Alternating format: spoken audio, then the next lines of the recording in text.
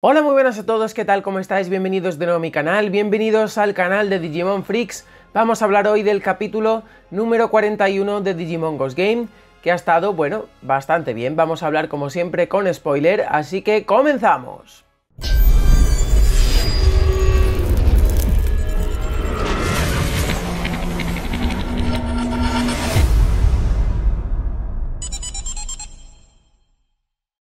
Pues al final las sospechas eh, eran ciertas, hemos tenido a Piemon o a Piedmon como este eh, villano protagonista de este capítulo, que sí es cierto que teníamos eh, pues en los anteriores capítulos alguna que otra pildorita sobre el guion principal pues bueno de, de esta nueva temporada. En este caso no hemos tenido nada importante, simplemente otra vez hemos visto cómo Spimon ha dicho que bueno que iba a buscar al verdadero giro sigue empeñado en que Giro no es exactamente Giro, así que excepto ese, ese punto no hemos tenido nada interesante en el capítulo que avancemos un poco la trama.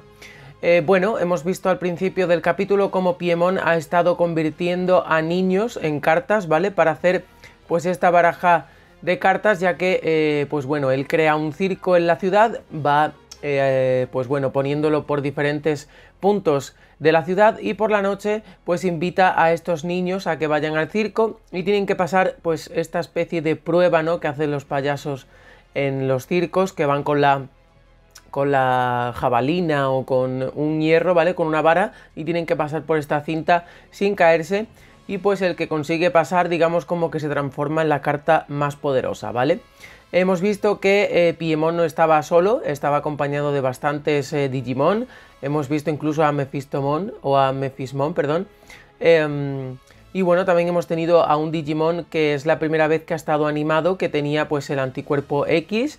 Y pues nada, eh, bastante bien el capítulo, no hemos tenido a Kiyoshiro ni a Jellimon, parece ser que se han ido, y ha estado centrado sobre todo pues en Ruli y en Angoramon, porque han sido los elegidos, digamos, para ir a este circo, porque Ruli, mientras estaban en el circo por, el, eh, por la mañana, por el mediodía, pues eh, ha robado una de estas cartas que escaneando el código QR, pues venían a por ti para que pasaras la prueba.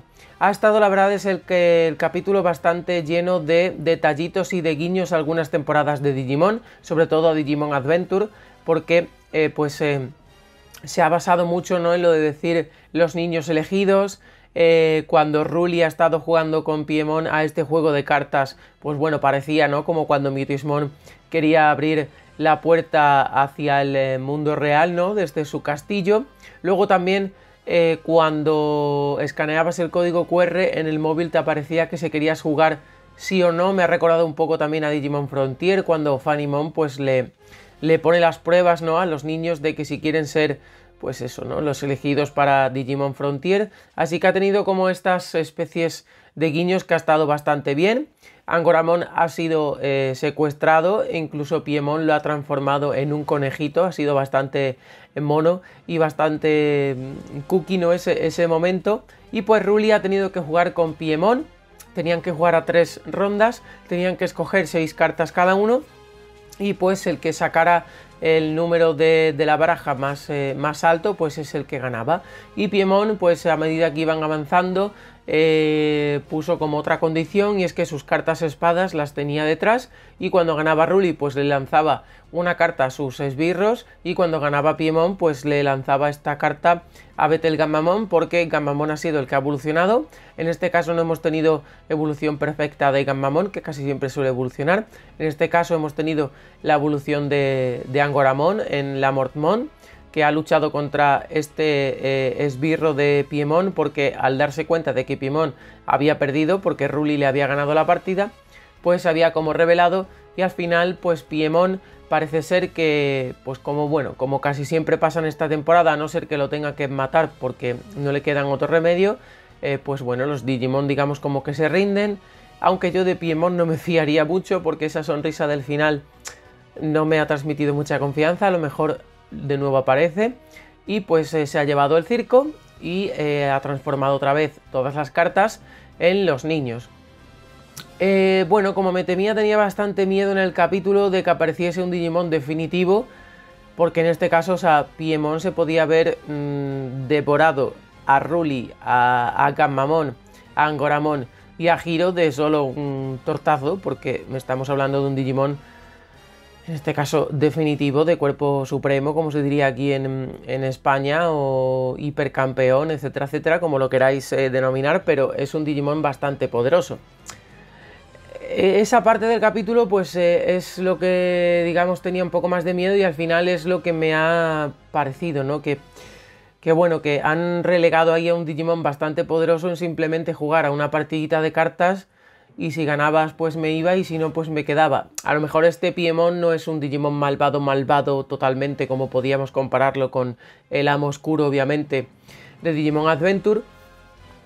Pero me ha faltado algo, mm, yo creo que meter Digimon definitivo sin tener estas evoluciones definitivas creo que es un riesgo un poco alto, no sé vosotros qué pensáis, a lo mejor no es nada importante que haya aparecido un Digimon tan poderoso, pero como que me ha faltado obviamente eh, pues ese plus ¿no? de luchar contra un Digimon tan poderoso que simplemente pues se ha basado en jugar en una batalla de cartas y, ya está, ¿no? En ese caso, como os digo, pues me ha decepcionado un pelín y era el miedo que yo tenía, por eso eh, en una parte yo quería que Piemon no apareciera, que no apareciese porque mm, iban a luchar contra un Digimon muy poderoso y al final es lo que ha pasado, ¿no? En sí el capítulo sí que me ha gustado, ¿no? Porque, bueno, eh, la animación, la animación de, de, Piemon ha estado bastante chula. Eh, la verdad es que Ghost Game, en cuanto a diseño y animación, eh, se nota que es un poco, pues, un anime más actual, ¿no? Y se nota, obviamente, el avance. Y me ha gustado, pues eso, ver a más Digimon animados y a tener a unos cuantos ahí de esbirros de Piemon pero eh, me ha faltado otra vez tener algo que avancemos un poco la historia. Estamos en el capítulo 41. Eh, de hecho, hace poco Toy Animation ha subido, digamos, como un avance o algo así, de que ahora, digamos, como que teníamos el segundo arco del anime, ¿no? O que iban a aparecer otras cosas diferentes. Y bueno, esperemos que se centren un poquito más en saber qué es lo que ocurre realmente en la temporada. Y obviamente, pues se me ha decepcionado un pelín que tengamos a Piemon y simplemente se haya, pues eso, destinado a jugar una partidita de cartas, ¿no? Así que bueno, contadme qué os ha parecido el capítulo a vosotros. Me ha gustado, pero aún así me ha faltado algo y me han decepcionado algunas cositas. Pero bueno, no pasa nada. Teníamos unos capítulos bastante interesantes de aquí para atrás. Otra vez hemos vuelto un poco a, a lo normal de la temporada. Así que veremos qué tal el siguiente episodio. Creo que no he visto ningún Digimon por ahí que reconozca en el siguiente capítulo. No sé si vosotros os habéis dado cuenta.